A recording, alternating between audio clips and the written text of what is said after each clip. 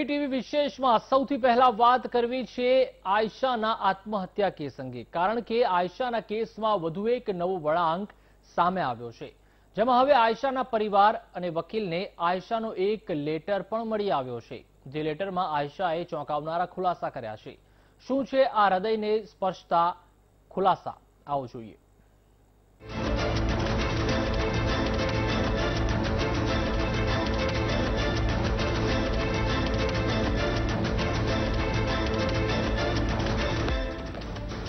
આયશા આત્મહત્યા કેસમાં નવો ખુલાસો.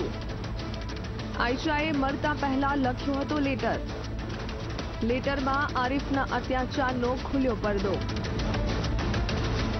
અમદાવાદની દીકરી આયશાએ પોતાના સાસરિયાના ત્રાસ અને પતિના ન અપનાવવાના ઈરાદાને કારણે આત્મહત્યા જેવું પગલું ભર્યું.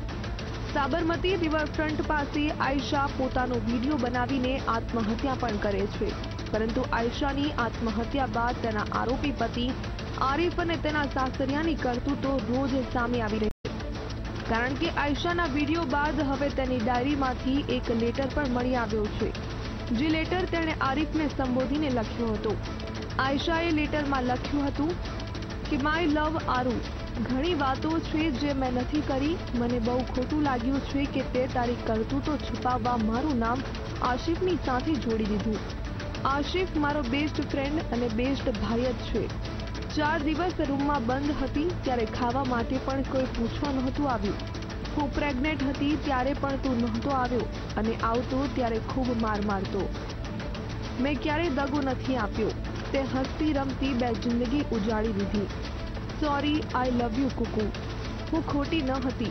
ખોટો તારો સ્વભાવ હતો. તારી આંખો પર હું ફિદા છું. કેમ? એ તો હું આવતા જન્મમાં જ કહીશ. Love you your wife Ayesha Arif આ હતા આયશાના આરીફ માટે અંતિમ શબ્દો. એવું લાગે છે આયશા આ પત્ર આરીફને મોકલવા ઈચ્છતી હતી. પરંતુ લેટર આરીફને મોકલે તે પહેલા તો આરીફે જ તેને મરવા માટે અને વીડિયો બનાવી મોકલવા માટે પ્રેરી. અને તેણે સાબરમતીમાં ઝંપલાવી પોતાનું જીવન ટૂંકાવ્યું. આજે આરીફને કોર્ટમાં રજૂ કર્યો હતો પણ પોલીસે ફર્ધર રિમાન્ડની માંગણી કરી નહીં એટલે નામદાર કોર્ટે એને જ્યુડિશિયલ કસ્ટડીમાં મોકલી દીધો છે. એક લેટરમાં શું દેસાઈ સાહેબનો ફોન આવ્યો હતો લિયાકતભાઈ ઉપર કે છોકરી ડાયરી લખતી હતી રોજને રોજ તો કંઈ તમારી પાસે મળી આવે તો અમને જણાવજો. એટલે લિયાકતભાઈએ ઘરે તપાસ કરતા એમાંથી એક લેટર મળી આવ્યો છે. એ લેટરમાં આયસા એના પતિને એને સંબંધને લખે છે કે આરીફ તમને મેં સાથે બહુ વિશ્વાસઘાત ક્યાં હે? મેરા આસિફ સાથ કોઈ ચક્કર નહીં થા.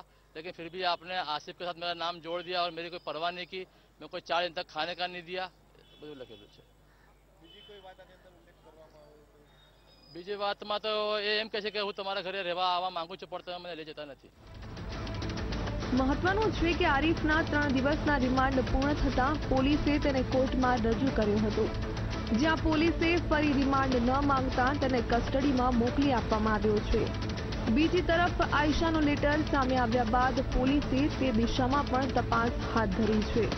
સાથે જ આરીફના ફોનને એફએસએલમાં મોકલાયો છે.